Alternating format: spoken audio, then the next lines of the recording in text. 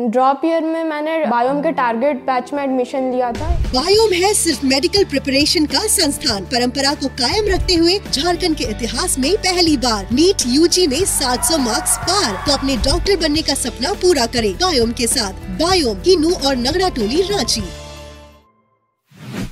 आजसू आजसू तीन दिवसीय महाधिवेशन में राज्य की दशा और दिशा को बदलने की रणनीति तैयार कर रही है। ऐसे में आजसू के सांसद हमारे साथ चंद्र प्रकाश चौधरी जी हैं उनसे ही जानते हैं। सर ये जो महाधिवेशन है कहा जा रहा है कि राज्य की दिशा और दशा बदलेगा। क्या कुछ आप लोग चर्चा कर रहे हैं और किन बातों पर समागम में चर्चा हो रही है?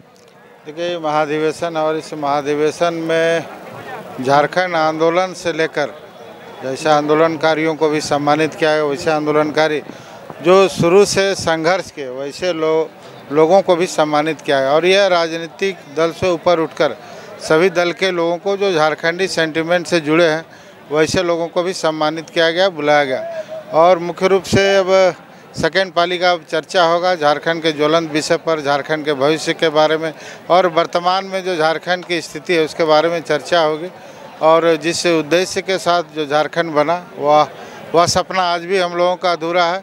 और सभी लोग अपने अपने सुझाव देंगे ज्वलंत विषय पर और पार्टी उस पर निर्णय लेगी कि आगे आने वाले समय में झारखंड के विषय पर हम लोग किस प्रकार संघर्ष करेंगे और लोगों के बीच में लेकर जाएँगे ये जो आंदोलन की बात है आंदोलन से खड़ा हुआ है आजसू।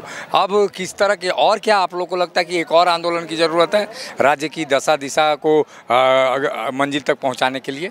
देखिए जो स्थिति अभी हम लोग देख रहे हैं झारखंड को जो जो भावना था लोगों का झारखंड अलग करने का वह भावना के साथ आज भी लोगों के साथ खिलवाड़ किया जा रहा है। कई कैसे विषय भी आज तक यहाँ के लोगों को ना स्थानीय नीति बना, ना नियोजन नीति बना, ना विस्थापन नीति बना। जो झारखंड का मूल विषय है, आज भी वह भटक रहा है।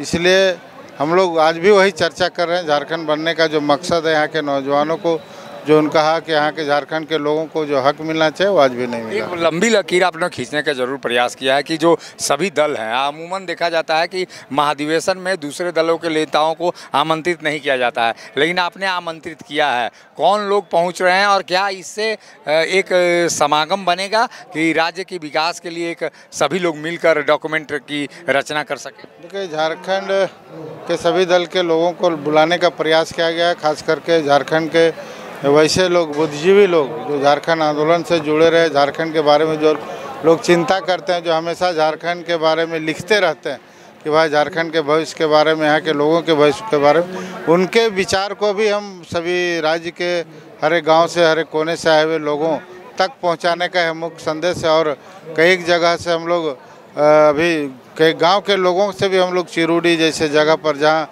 झारखंड आंदोलन का सबसे बड़ा घटना होता, शहीद हुआ था वहाँ के लोगों को भी हम लोगों ने इस महाधिवेशन में जोड़ने का प्रयास किया है, ताकि वो लोग भी अपनी भावना को रख सके और जैसा हम लोगों ने देखा भी, चिरूडी जो कांड काफ़ी फ़ेमस रहा जिसमें यहाँ के लोग जिरूडी कांड को लेकर बड़े नेता बने, मुख्यमंत्री भी बने, लेकिन आज भी वह गाँव की स्थिति क्या है उनके जुबानी यहाँ के लोगों ने सुना है और हमें भरोसा है कि आने वाले समय में हम लोग चिरूडी जो आज विकास से कोसों दूर है, उसको हम लोग पूरा करेंगे इस अधिवेशन में बंगाल और उड़ीसा से भी कई लोग आए हैं। क्या आजसू का ये भी सपना है कि जो बृहद झारखंड की बातें होती थी पहले, उस परिप्रेक्ष्य में आगे बढ़ा जाए, आगे बिहार झारखंड झारखंड के साथ जो ज़िले हैं, उड़ीसा के, पश्चिम बंगाल के, वहाँ भी हम लोग अपनी बातों को रख सके, झारखंडी भावना की बातों को रख सके। देखिए शुरू से ही बृहद झारखंड का आंदोलन जब हुआ था, उस समय तो बृहद झारखंड, बंगाल उड़ीसा मध्य प्रदेश के राज्य के भी ज़िले शामिल थे। लेकिन झारखंड जब अलग बना तो उस समय सिर्फ़ झारखंड का ही हिस्सा बना। लेकिन आज भी वहाँ के लोगों का भावना, जो वहाँ के लोग आंदोलनकारी, आज भी आंदोलन आंदोलन के, आंदोलन लोग करते हैं तो बृहद झारखंड की बात करते हैं। तो निश्चित है, उनका दर्द आज भी अधूरा है। झारखंड तो अलग बना, लेकिन उनका जो सेंटिमेंट झारखंड के साथ जुड़ा हुआ वह अभी आज अधूरा है।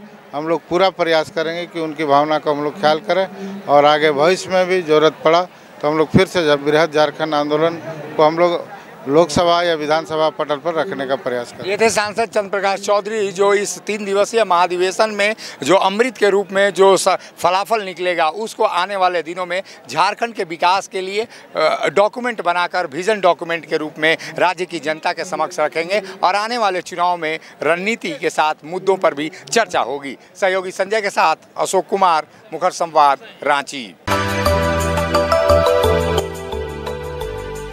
मिनी लंदन, मैकलुस्कीगंज, प्रकृति की गोद में बसा ड्रीम डेस्टिनेशन आपका कर रहा है इंतज़ार। आइए अपने यादगार लम्हों को बिताइए ड्रीम डेस्टिनेशन में। राजधानी रांची से महज 50 किलोमीटर दूर आपका अपना ड्रीम डेस्टिनेशन। जब टूटती है आस जब थकती है सांस, जब रूठते हैं अपने मुँह मोड़ता है जमाना।